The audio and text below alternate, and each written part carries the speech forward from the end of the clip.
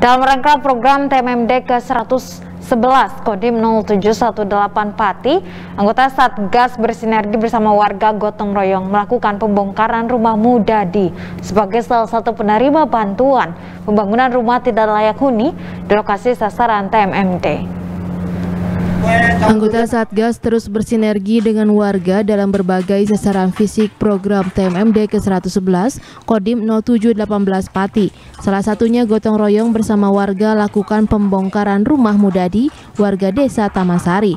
Pembantu Letnan 1 Marinir Suprianto, anggota Satgas TMMD ke-111 Kodim 0718 Pati mengatakan, dalam pembongkaran rumah tidak layak huni milik Mudadi, anggota Satgas yang terlibat sejumlah empat personil yang semuanya berasal dari gabungan anggota Lanal Semarang.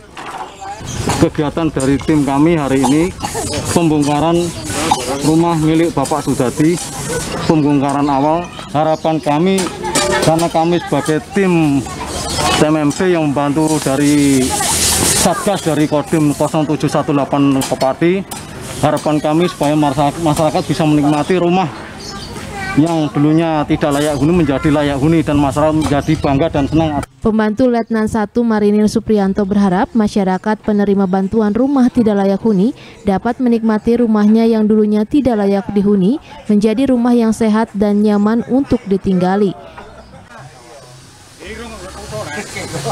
Tim Liputan Bandung TV